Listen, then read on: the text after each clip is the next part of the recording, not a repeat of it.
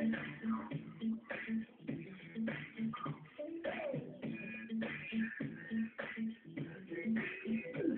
wants, you want some of my lollipop? Do wants.